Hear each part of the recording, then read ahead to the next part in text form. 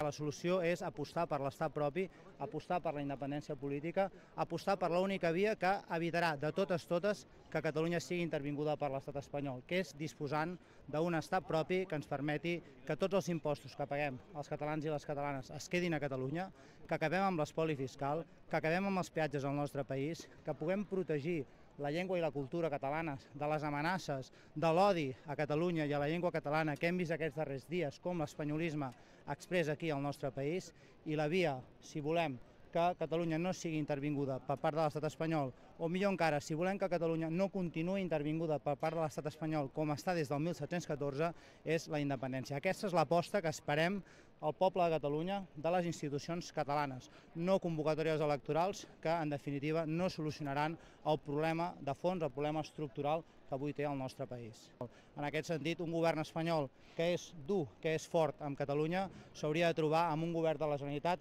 dur, fort, que planta cara en defensa dels interessos dels ciutadans de Catalunya davant del govern espanyol. Artur Mas és molt fort amb els ciutadans de Catalunya, amb els ciutadans que no poden utilitzar els instruments que té el propi govern de la Generalitat per defensar-se, molt feble amb el poder de Madrid, amb el poder de l'Estat, que veiem com està actuant amb absoluta impunitat, amb absoluta deslleialtat, amb absoluta prepotència davant del poble de Catalunya i no troba un govern de la Generalitat que li planta cara i que li digui prou.